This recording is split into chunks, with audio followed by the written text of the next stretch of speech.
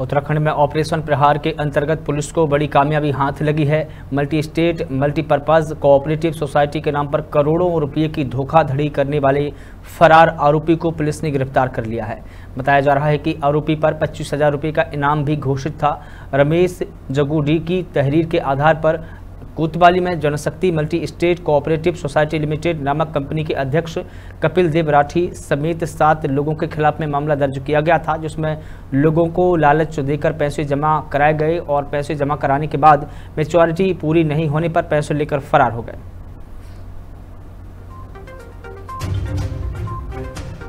दिनांक तीन अक्टूबर 2022 को रमेश जगूड़ी की तहरीर के आधार पर थाना उत्तरकाशी में Janshakti multi state multipurpose cooperative society नामक कंपनी के अध्यक्ष कपिल देव राठी सहित सात लोगों के खिलाफ धोखाधड़ी के मामले में धारा 406, 420, 120 बी और 504 आईपीसी के तहत अभियोग पंजीकृत कराया गया था। अभियोग अभियुक्तों द्वारा Janshakti multi state cooperative society के नाम से जनमत में शाखा खोली गई थी और इन शाखा के थ्रू जो जो छोटे छोटे जो यहाँ के ग्राहक हैं उनको उनसे पैसा लिया जाता था और उनकी मेच्योरिटी पूरी करने के बाद उनको पैसा लौटाने ये कहा गया था। बट इस कंपनी ने काफ़ी लोगों से पैसा लिया और कई लोगों का पैसा नहीं लौटाया। इस पर जो है रमेश जगूड़ी ने की तहरीर से मुकदमा लिखा गया था।